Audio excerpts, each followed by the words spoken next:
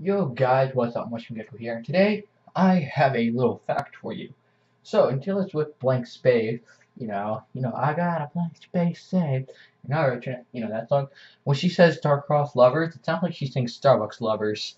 So, yeah, um, you guys can look that up after this video, because this video is how to make Team Fortress 2 run faster on Windows 7. I had this requested to me, and uh, I'm going to do it. Not only does this make Team Fortress 2 run faster, but I believe it makes Garry's Mod runs faster if you have that. Don't take my word on it though. So, first, we need to look down here. If you see that little, you see that home button right there, and then you also see that little pause button right there.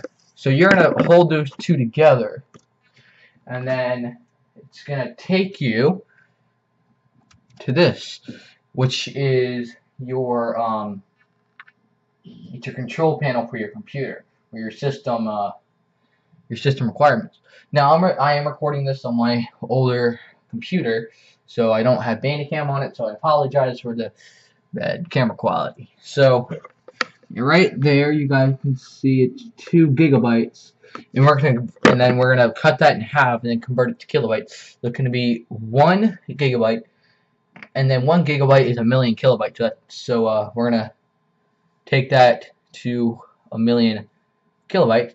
And over here, if you guys go to my how to make Team Fortress 2 run faster and smoother than ever on my Windows 8 video, uh, you're gonna come down here, copy this, and then where here where it says heap size, you are going to change the 5 million to 1 million or whatever your system memory is cut in half and converted into kilobytes.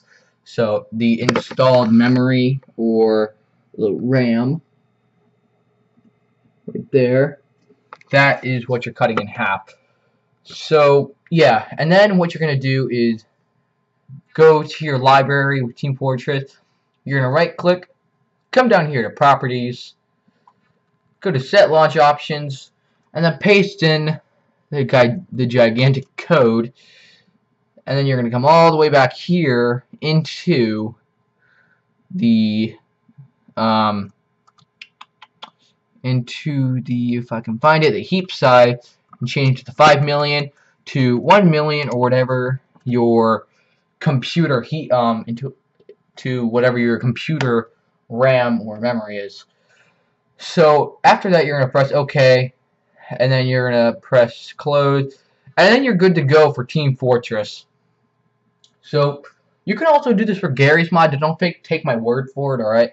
I haven't looked completely into Garry's Mod, but I just know that the that the games are similar when it comes to like how they're made. So yeah, that was how to make Team Fortress 2 run faster and smoother than ever on Windows 7. I will do Windows 10 video soon. So uh, yeah, keep an eye out for that.